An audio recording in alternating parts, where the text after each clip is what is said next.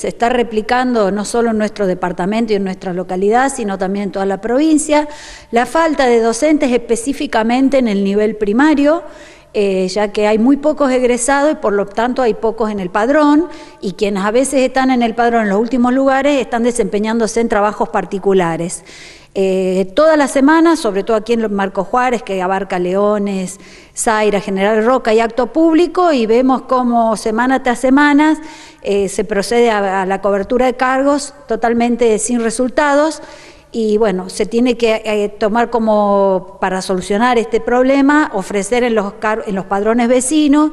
y luego el contraturno. El contraturno es incompatible a los fines legales,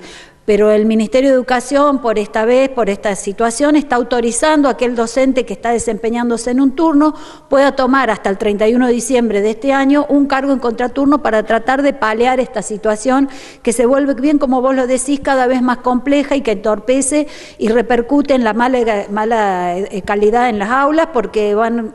se van poniendo parches hasta lograr cubrirlo. Es muy difícil y creo que esto el gobierno lo va a tener que rever y analizar eh, fríamente y con mucho detalle por qué se está dando esta situación, si tiene que ver con lo salarial, si tiene que ver con la carga, es mucha la carga que tiene un maestro de grado, la carga de trabajo, no solo lo que se da en el aula, sino lo que está fuera del aula, y por ahí creo que son variables a tener en cuenta y a rever, eh, ojalá que el próximo ministro de Educación vea y tome cartas en el asunto, porque se está haciendo cada vez más complejo en las escuelas de nuestra zona y de toda la provincia. Bueno, y esto vos lo sabes muy bien porque has estado en la dirección, que a veces a un directivo le cuesta mucho reemplazar a un docente en el aula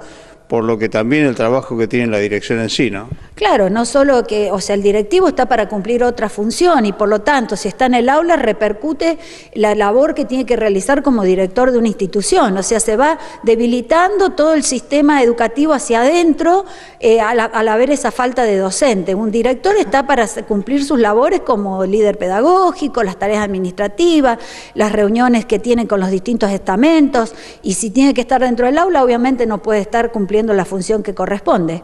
Bien, este Luis, eh, ustedes se han quejado de esto, han hablado de esto al Ministerio muchas veces, pero no hay respuesta. No, no hay respuesta sobre esto y bueno, como bien dijo Mónica, acá en, en los actos públicos no se pueden cubrir las vacantes y bueno, y se están cubriendo con doble turno o muchas veces haciendo haciéndose cargo los directivos.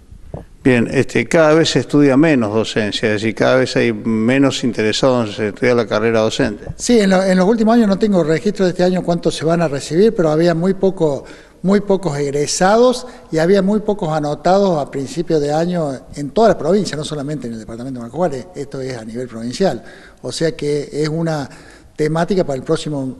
gobierno, el próximo ministro de Educación que entre a partir del 10 de diciembre lo tenga en cuenta.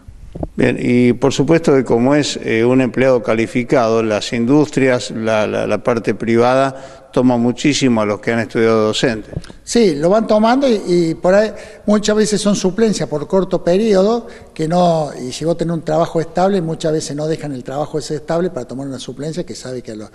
30, 40, 60 días se cae y después eh, tomarla nuevamente, o te quedas sin el salario porque no, no, no es automático la, eh, de nuevo que vos ingresés a la docencia, tenés que esperar. Y bueno, y el salario que por supuesto no se condice con la realidad del privado, es decir, en la, parte privada gana mucho más dinero y eso le conviene. Sí, no, no sé, no sé cuánto está un salario en la parte privada, pero bueno, eh, pero pasa más, no, no creo que pase tanto por el salario, sino por la falta de docentes para dar para dar clase, para cubrir los cargos eso. Y muchas, y muchas veces es por, por el, por el, corto periodo que es una suplencia. ¿no? Si la suplencia es todo el año, vos tenés garantizado el trabajo todo el año. Pero si una suplencia por una enfermedad que se, se interrumpe continuamente, se tarda mucho en cobrar, en cargar las MAP de, de ausentismo, porque también pasa por cargar el MAP del ausente, el que está enfermo, porque el la parte médica está muy atrasada y por ahí lleva 60 días poder cobrar, cuando vos entraste a trabajar está 60 días sin cobrar, por eso yo creo que pasa por ahí más que todo.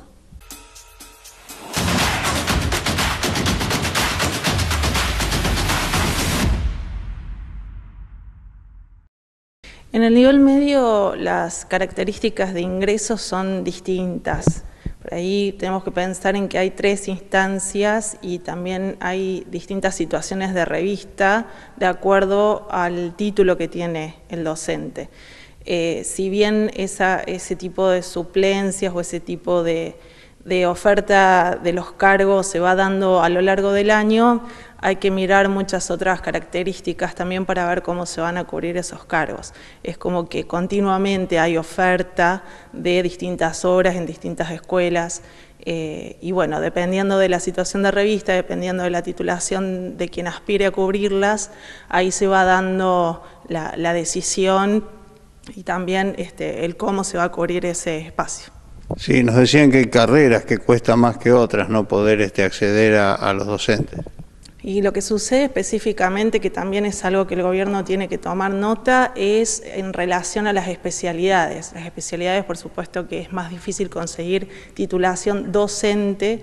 para las distintas carreras, tecnicaturas o, carreras orientadas que tienen los secundarios. Entonces, la dificultad vendría por ese lado. Eh, poder tener capacitación para que exista título docente para las distintas especialidades que nosotros en nuestro departamento tenemos y en la provincia, por supuesto, también.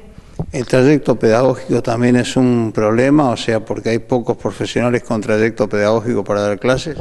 Y bueno, esa es la otra opción. Si no, si no se genera la capacitación o el profesorado específico, se tiene que acompañar con un trayecto pedagógico que también tiene que ser una política que el gobierno tenga que poner eh, al servicio de los docentes. ¿no? Si tenemos títulos profesionales y no podemos este, ofrecerles una capacitación en las áreas pedagógicas, eh, se complica para que se puedan ingresar y tener estabilidad en el sistema.